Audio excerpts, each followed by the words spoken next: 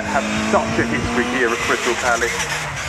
We often saw back in the day of the uh, Saloon Car Championship, the forerunner of the British Touring